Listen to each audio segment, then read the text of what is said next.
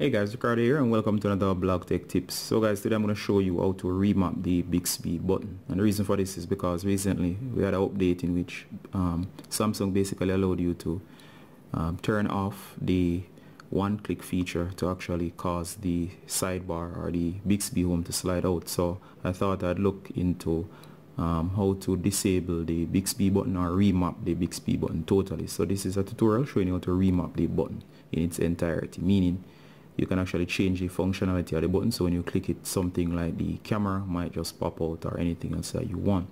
Now note Samsung does not want you to actually be doing this as they want you to actually use the Bixby assistant which is a great assistant but it still would be nice if you could actually remap the button. So let's get straight into the tutorial. Now for this you'll actually need a app and that app is called Bixby Remapper as you see down here.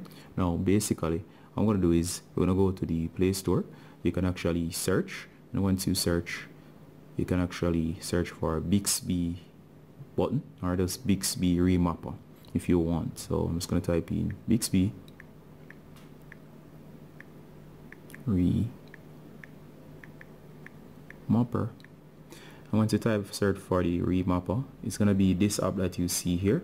As you can see you can see the producer and so on of this app right? I've already installed it so that to save some time. So you're going to go down into um, once it's installed you're gonna go and you're gonna launch.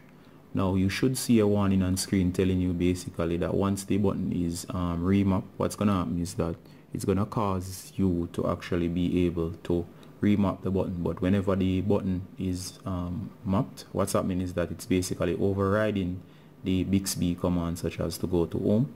And when it overrides it it basically launches any app that you want. So the first thing you're gonna do guys is gonna tap on to enable. As you see there there's the warning. You can go ahead and read it on yours. I'm going to continue. So once it's turned on it's going to take you to accessibility. That settings accessibility.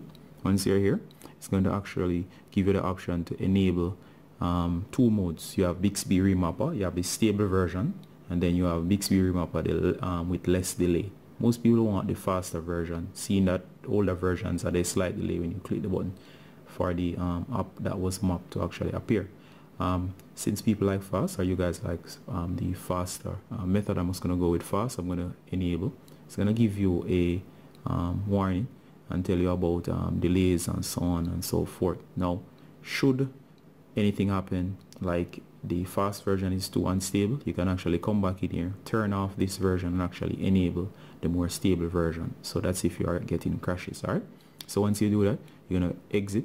You're gonna go back to the Bixby app as you see now it's enabled. And it gives you the option here to switch to the more stable version in case you're crashing right?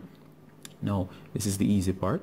Now of course all you gotta do here it says um, the action is actually not enabled. It's set to do nothing. So let's say I want the camera to actually pop out or actually appear whenever I actually do this. So I'm just gonna go and select camera. And as you see it's set as an action. Now observe. When I click the Bixby button and there's a slight delay but it's actually fast and there you go. It actually launched the camera on one click. Now every action associated with uh, Bixby is actually going to now be associated with the camera. So if I swipe over here there you go. It actually launches the camera and that's normal as soon as the app is actually running. So you can actually go back to um, Bixby Remapper. And if you want you can disable the functionality. You could say do nothing and of course if you say do nothing and you hit the button it's going to take you while the while the um, while it's enabled it's going to actually override. So that's a result of it being still enabled. So if you want to regain your normal device just simply turn off um, the functionality by hitting the button right here. Now let's look at some of the things before before I disable it what are some things you can actually do just in case you're curious. You can actually um, do nothing open an app. You can go to Google now. You can go to Google Assistant voice search camera power menu notification panel quick settings panel press back button press home button press recent apps button toggle split screen toggle flash toggle ringer notification to go to vibration mode toggle do not disturb toggle auto rotate and toggle media action. Now the beta versions are the test versions so they might not work as well. All right? That's it. So if you want you can actually disable the button. So I'm going to disable the app. There you go. Quite easy. It's now disabled. And of course Bixby is gonna go back to normal if I tap the button. There you go. It should um, appear now.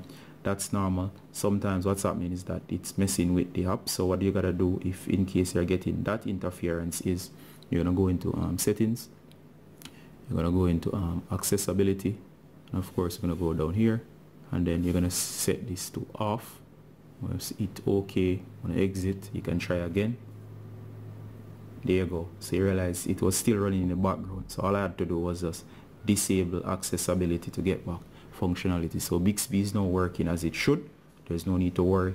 And of course you can uninstall the app um, take away access and so on. So that's it guys. If you think this was helpful please give um, this video a thumbs up. Also you can leave your comments or ask questions below. This recorded from Blog Tech Tips showing you another cool way to actually or the updated version of how to remap the Bixby button. So this is Ricardo saying bye until next time. Bye